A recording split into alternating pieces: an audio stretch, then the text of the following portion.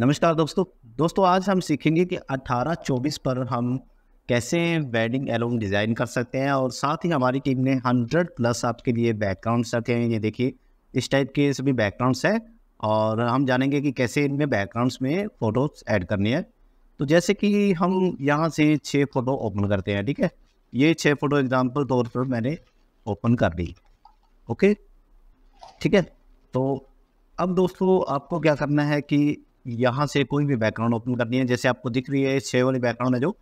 Six वाली background आपने just open कर लेनी है। जैसे कि मैं ये वाली बैकग्राउंड है ओपन करता हूँ। ओके तो इसका साइज़ है जो दोस्तों इमेज में जाके इमेज साइज़ से आप इसका साइज़ चेक कर सकते हैं। आप चाहें तो सत्रह चौबीस में बना सकते हैं या अठारह चौबीस में बना सकते हैं ओके तो सत्रह चौबीस दो सौ की रेजोल्यूशन है। तो जस्ट मैं इसको यहाँ से, इसको ऐसे कर देता हूँ और ये वाला जो टूल है मैजिक टूल उसको सिलेक्ट करके इसको सिलेक्ट करता हूँ। कंट्रोल टैप दबाकर फ़ोटो आ जाएगी। कंट्रोल ए कंट्रोल एक्स करना है आपको और जस्ट यहाँ से इसको बंद कर देना है। ठीक है दोस्तों? और इसको कंट्रोल शिफ्ट वी से पेस्ट कर देना है तो फ़ोटो इसके अंदर हो जाएगी। अब दोस्तों, कई लोग पूछते हैं कि हर वीडियो में मैं ये बताता हूँ तो आपको ये बेसिक में मैंने वैसे बता रखा है, लेकिन जो न्यू स्टूडेंट्स हैं, उनके लिए ये बताते रहते हैं। अगर आप दोस्तों कंट्रोल वी करेंगे तो फ़ोटो बाहर आ जाएगी, इसलिए कंट्रोल शिफ्ट वी दबाकर आपको कंट्रोल शिफ्ट टी दबा देना ठीक है? फिर से इसको सेलेक्ट किया कंट्रोल टैप दबाया कंट्रोल ए कंट्रोल एक्स किया, और इसको नो किया, और कंट्रोल शिफ्ट वी कर दीजिए, ठीक है? इस तरीके से दोस्तों, सभी फ़ोटो आपने लगा लेने हैं। आप चाहें तो F6 का भी प्रयोग कर सकते हैं। F6 से फ़ोटो कट होके ऑटोमेटिक आ जाएगी। ऊपर आई बटन पर मैंने इसका लिंक दे दिया है और नीचे डिस्क्रिप्शन में दे दिया है, जिसमें मैंने बताया हुआ है कि ये शॉर्टकट्स कैसे काम करते हैं।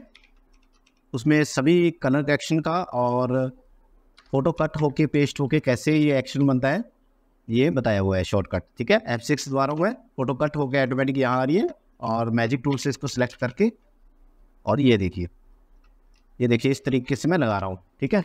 एफ़ सिक्स दबाया फ़ोटो कट हो गया गई इसको सिलेक्ट किया और डब्ल्यू दबाया। देख, ठीक है? और इजी वे में आपकी ये शीट रेडी हो जाएगी। आप चाहे तो इसको किसी फ़ोटो का इफ़ेक्ट दे सकते हैं। इमेज में जाके एडजस्टमेंट पे और ग्रेडियन मैप से मैं इसको आई ए जी आल्ट आई ए जी दबाकर आप इसको इफ़ेक्ट्स दे सकते हैं। ठीक है दोस्तों? सेवन एट सिक्स लगाकर आप वीडियोस का जो फोल्डर है उसका अनजिप कर सकते हैं। सेवन एट सिक्स ठीक है दोस्तों तो इस तरीके से वीडियोज़ में ये काम करेंगे। बैकग्राउंड्स आपके अठारह चौबीस में सॉरी एनोम में ये काम करेंगे। दोस्तों, अब अगर आपके पास ये फ़ोटो है, मान लो कि पाँच फ़ोटो है तो पाँच फ़ोटो में आपको कैसे लगाना है, ये भी आप थोड़ा सा सीख लीजिए।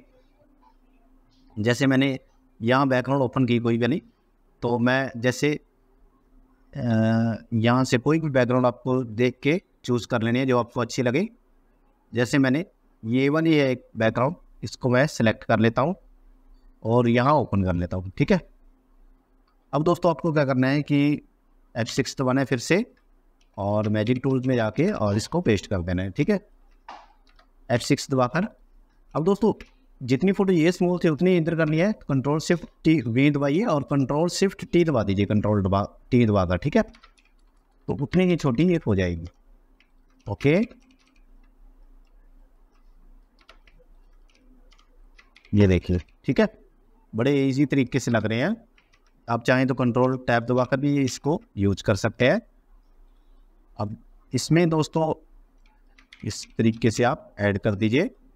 अब एक जो सिंगल डब्बी बची है, वहाँ आप दोस्तों पोर्ट्रेट का यूज़ कर सकते हैं। अदरवाइज़ आप चाहे तो कोई नेचुरल फ़ोटो का यूज़ कर सकते हैं, जो आपको अच्छी लगे।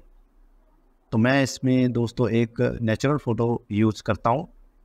जैसे कि इस फोल्डर में कुछ नेचुरल फ़ोटो मैंने रखे थे।